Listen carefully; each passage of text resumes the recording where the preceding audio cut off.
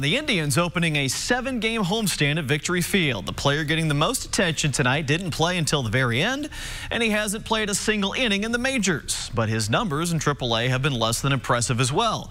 Tim Tebow, though, is not your average minor leaguer. Here's a closer look in tonight's Sports Extra Spotlight.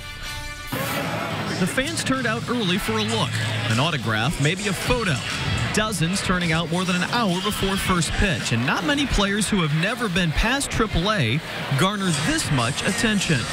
I think it's just part of it. Um, and honestly, I don't make too much of it. Just come and get to talk to a few people a few minutes beforehand and um, try to do it in a setting like this. And it's really not too big of a deal for me. And I think that's how we try to keep it.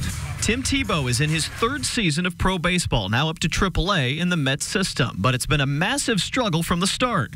Just a 161 batting average. He struck out more than a third of his plate appearances. But it's the drive and determination that made him a football star that keeps him going on the baseball field. Baseball is a game of failure. Um, it's going to sound weird, but it's one reason why I, I really want to do it. It's hard. It's not easy. It's, I mean, you have to. You, you're really, really good if you succeed three out of 10 times.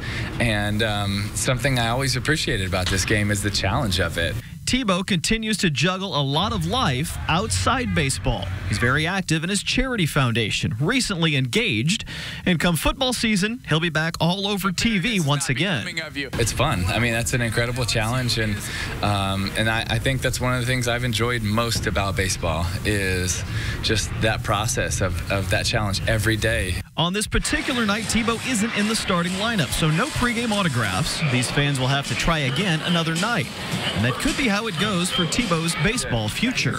You can't let yourself think about it. You have to be now in the present and focus on it and, you know, got to um, you know, be able to just continue to follow the process and improve before I, I really worry about that, too. Tebow did pinch hit in the ninth inning tonight. He walked, scored a run, also flew out to end that inning. He has been the Mets DH for much of the past month. They're playing National League rules in this series, though, so that spot won't be available. We'll see if he gets to start in the outfield for a game or two before this trip is done.